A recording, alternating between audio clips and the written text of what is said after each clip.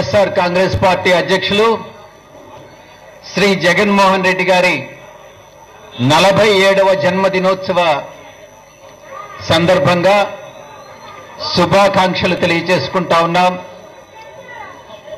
పండగ రాష్ట్రం అంతా కూడా ఈరోజు పండగ వాతావరణం నెలకొన్నది. గతంలో స్వాతంత్రోద్యమంలో మనం మహామహానాయకులందరినీ కూడా చూశాం. గొప్ప నాయకులను కూడా చూశాం. స్వాతంత్రం వచ్చిన తర్వాత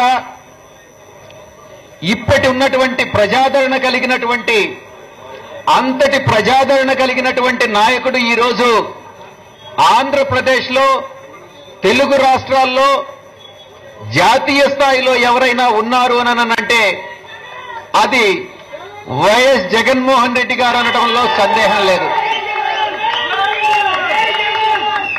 పది సంవత్సరాలుగా రాష్ట్ర ప్రజల కోసం రాష్ట్ర ప్రయోజనాల కోసం పార్టీని అధికారంలోకి తీసుకొచ్చి రాష్ట్ర ప్రజలకు సేవ చేయాలన్నటువంటి మంచి ఉద్దేశంతో పోరాటాన్ని సాగిస్తున్నటువంటి నాయకుడు శ్రీ జగన్మోహన్ రెడ్డి గారు. ఈ యొక్క ప్రాసెస్లో భాగంగా ఆయన ఎన్నో కష్టాలను నష్టాలను ఎదుర్కొనడం జరిగింది. కేసులు పెట్టారు వేధించారు. అయినప్పటికీ కూడా వెనుకాడకుండా పోరాటం చేస్తున్నటువంటి వ్యక్తి జగన్మోహన్ రెడ్డి గారు.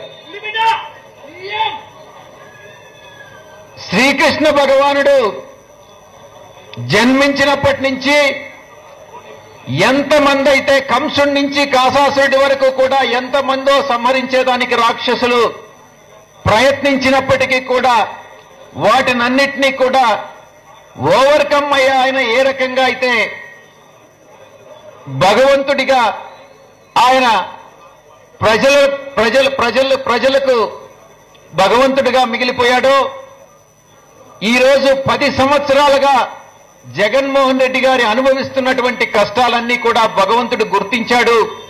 ప్రజల ఆశీర్వాదం తప్పకుండా ఉంది. ముఖ్యంగా నాయకుడికి నాయకత్వ లక్షణాలు ఏదైనా ఉన్నాయని అంటే అది జగన్మోహన్ రెడ్డి గారికి అద్భుతమైనటువంటి నాయకత్వ లక్షణాలు ఉన్నాయి. ఇచ్చిన మాటకు నిలబడి మాట తప్పకుండా కుటుంబ విలువలను ముఖ్యంగా కుటుంబ విలువలు మన భారతదేశంలో కుటుంబ విలువలు అన్నటువంటివి చాలా ముఖ్యమైనటువంటివి. కుటుంబ విలువలను తూచా తప్పకుండా పాటించేటటువంటి నాయకుడు శ్రీ జగన్మోహన్ రెడ్డి గారు. ఇక రాజకీయాలకు వస్తే రాజకీయాల్లో కూడా ఇచ్చిన మాట తప్పకుండా రాజకీయ ప్రమాణాలు పాటిస్తూ ఈరోజు ప్రజల కోసం పోరాటం సాగిస్తున్నటువంటి శ్రీ జగన్మోహన్ రెడ్డి గారిని ప్రజలందరూ కూడా రాబోయేటటువంటి సార్వత్రిక ఎన్నికల్లో ఆశీర్వదించి ఆయన్ని ముఖ్యమంత్రి స్థానంలో కూర్చోబెట్టవలసిందిగా నేను ప్రజలందరికీ కూడా ఈ సందర్భంగా విజ్ఞప్తి చేసుకుంటా ఉన్నాను.